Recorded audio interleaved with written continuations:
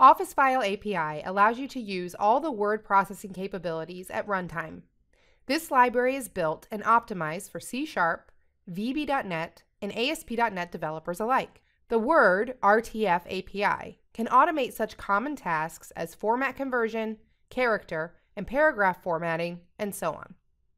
In this video, we use the Office File API to protect the document from editing and apply range permission and enable certain users to edit parts of a protected document. First, create a new console application. Make sure that you added references to the DevExpress data, Office, and richedit.core assemblies. Add a document to work with. I've already added all related files to the project folder. In the Solution Explorer, click Show All Files to display all project files. Select the target files, right-click them, and select Include in Project.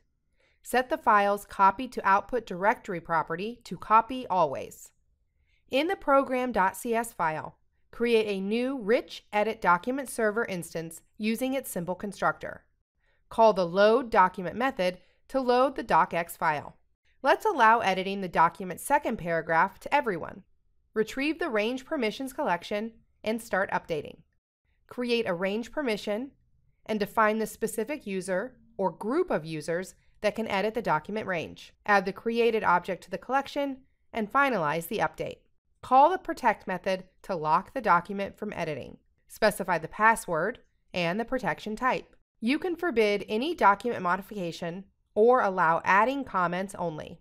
Save the resulting file and call the process.start method to open the document when the application runs.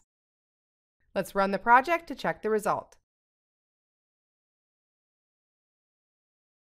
As you can see, the part that I can edit is highlighted. The rest of the document is protected from editing, but I can add comments.